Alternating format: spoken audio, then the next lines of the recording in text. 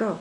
So this is the uh, morning coffee before our olive stretches, olive picking stretches, which for picking olives, we have our stretches like this, like this.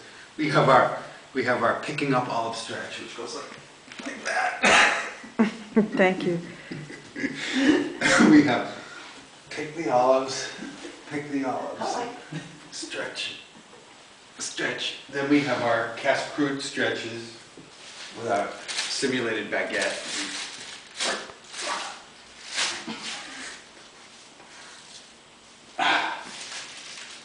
We have our wrist stretches.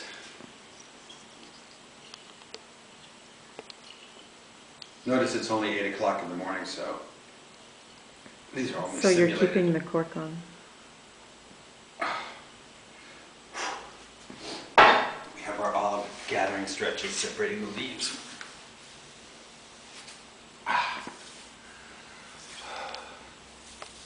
Then we have our little chit-chatting stretches while we're working.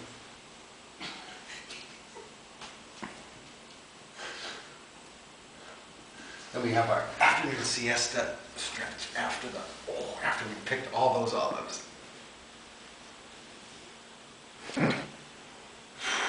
and two and three and one and two and three.